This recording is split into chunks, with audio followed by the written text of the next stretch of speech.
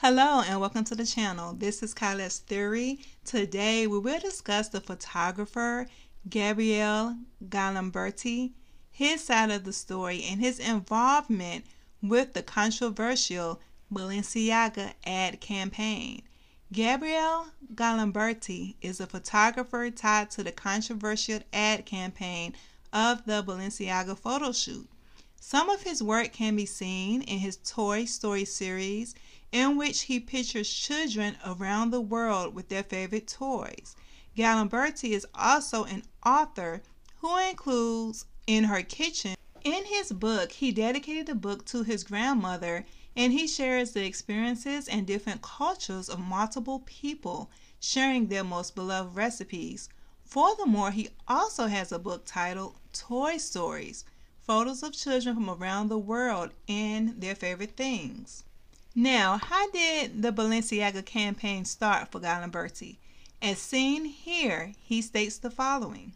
Balenciaga called me at the end of September. The first email that I received was from someone that worked closely with Demna. And the email says basically, Hello, Gabriele, we are Balenciaga. Demna saw your work. We like your style. We like Toy Stories. We would like you to do the same. We would like for you to do the same thing for us. Now, moving forward, since the ad campaign, Galimberti has experienced a lot of backlash. As of date, he fears for his safety, for he has received countless threats on the photos that were taken. However, he declares his innocence. He states he is taking the brunt for an additional, highly controversial photo shoot campaign in which papers from a Supreme Court case were present in the ad. However, he states he did not have anything to do with that. As seen in the New York Post, he declares he has no involvement in that particular shoot with the paperwork. However, what happened was that the images of his photo shoot with the bears were cropped and placed next to the documents you know, giving the illusion that it was all one and the same when it was not, it was separate. Furthermore, as seen in the New York Post, he is also claiming that the brand, along with creator director Demna, did not do enough to address the public during the nearly month long scandal, those putting his safety at risk. He further states that he was writing Balenciaga, he was consistently trying to get in contact with them, he was not hearing anything from them. In the meantime, while they was waiting to put out their statement, he was being bombarded with harassing emails, threats on his life, on his Instagram, that pretty much his life was turned upside down. And he states that the children that were actually photographed were Balenciaga employees. Before the children were brought on the set, he claimed mannequins had been used in their place to get approval from the higher ups from the label. He stated, "We took some photos, and then the photos were going going from my camera to someone's computer, and then they were sending these photos to someone at the headquarters of Balenciaga. When they say okay, we simply replace the mannequin with a real child." As seen here on Twitter, you can see Gabriele Galimberti actually giving thanks to The Guardian, for it states here Galimberti described his tightly controlled experiences on set with the Balenciaga team, first taking pictures of mannequins and test pictures before the children were photographed in the poses. We took some photos and then the photos were going from my camera to someone else's computer. States flat out that he was oblivious to anything, you know, of doing anything wrong. He stated when he did see the bags, that people was pretty much informing him, look, this is punk.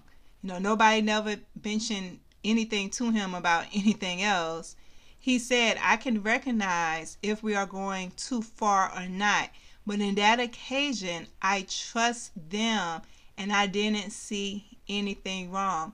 Furthermore, he states, I must stress that I was not entitled in whatsoever manner to neither choose the products nor the models, nor the combination of the same.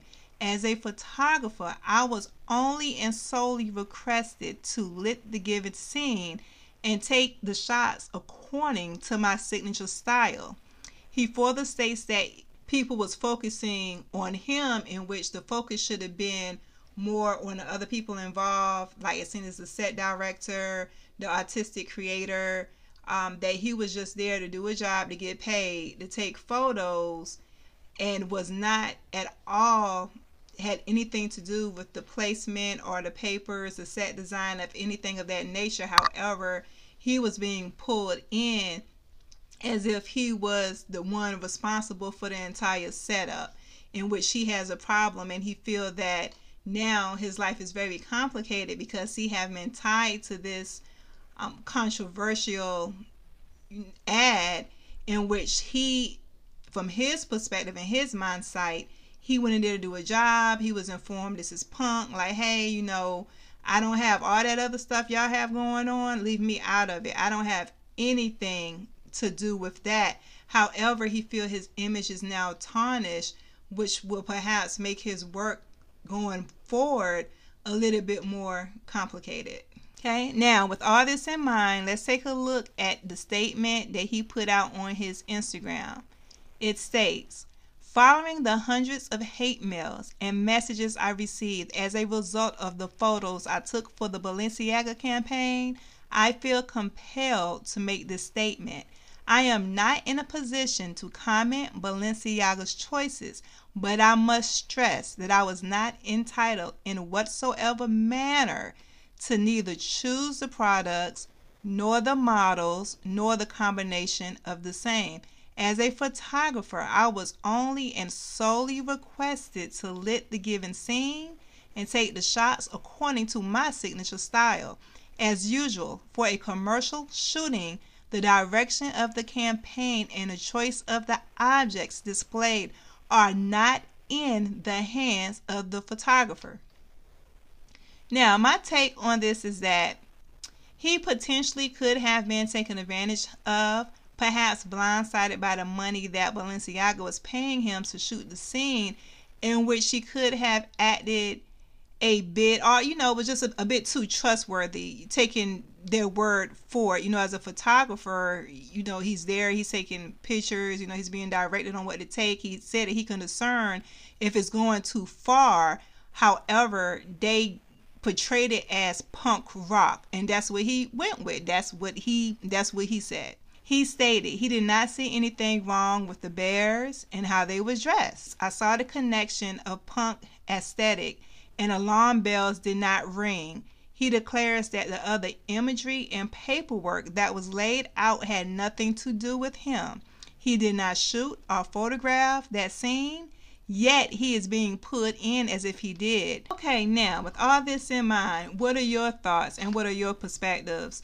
Do you feel that he was fully aware what was happening and he just went with it? Or do you feel that he genuinely was to some degree manipulated and he trusted these people and he really honestly felt that it was a punk rock vibe. With this in mind, if you lasted um, this long to the end of the video, I want to say thank you. Thank you for your time. Um, thank you for watching the video, and I would like to hear your inputs, any thoughts you have pertaining to this situation. If there's any topics you would like me to discuss or to talk about, just be sure to leave it in the comments below, and I'll be more than happy to research and give my take, you know, so we all can engage with one another and hear each other's perspectives. As always, heads up and shoulders back. See you in the next video. God bless.